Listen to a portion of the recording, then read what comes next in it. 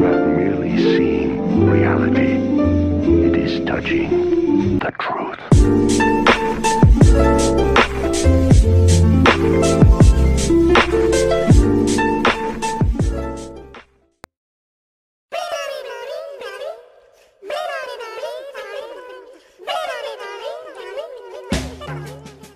Well, guys, my second semester of my senior year of high school started a few days ago, and I haven't learned shit.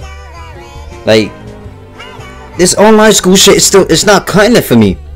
As the months go on and on and on and on and on and freaking on, I'm seeing less and less people showing up to class. Like nowadays, I'm seeing like eight, ten people per class that's supposed to have like 32 kids in it. Even the smart kids stop showing up to class after a certain point. Like that shit is wild. Nobody's enjoying this shit no more. Like I remember at the start of the school year when everyone was like, yo, this year finna be a breeze. Everybody about to start copying and pasting.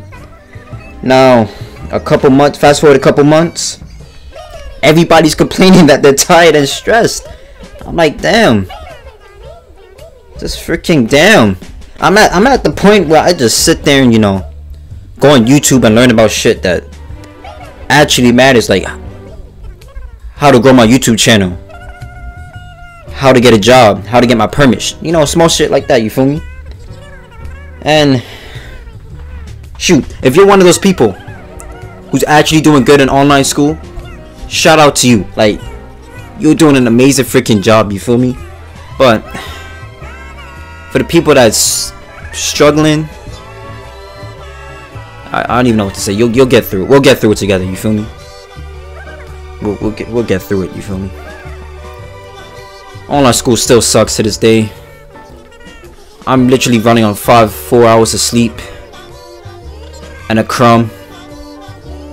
A tiny, tiny crumb. But I'm gonna stop talking now and shit. I'm gonna, I'm gonna go right now because I'm hungry as fuck. And tired. Because I got, I got school in the morning, sadly. Freaking love you, whoever's watching this. Like, I really freaking love you. And goodbye.